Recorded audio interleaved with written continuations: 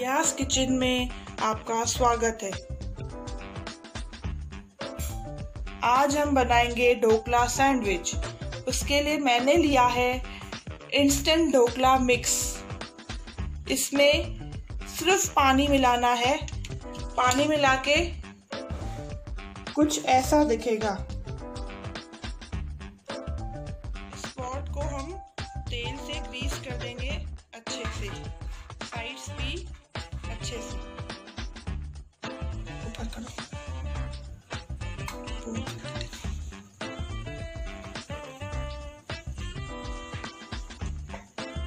Pot को आधे तक भरेंगे।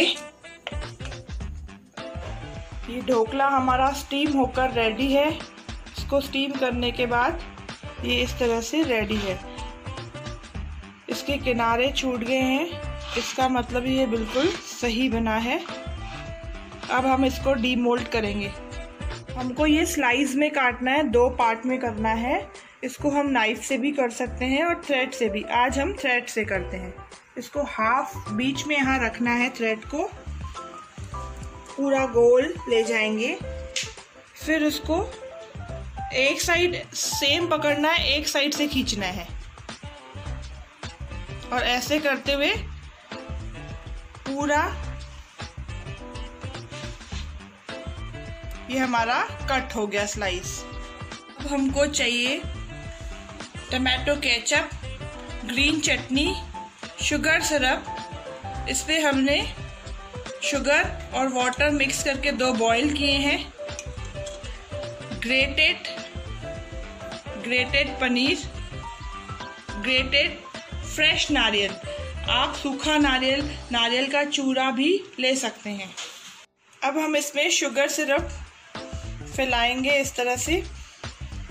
पूरा ढोकला अच्छे से गीला हो जाना चाहिए, शुगर सिरप सोक कराएँगे स्लाइस में भी करेंगे शुगर सिरप को सोक। इसमें ग्रीन चटनी फैलाएँगे स्प्रेड करेंगे।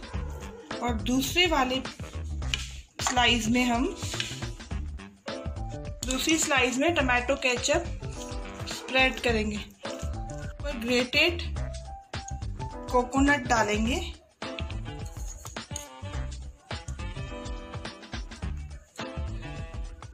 अब इसमें ग्रेटेड पनीर स्प्रेड करेंगे। अब हम इसमें दूसरी स्लाइस टमाटर वाली रखेंगे।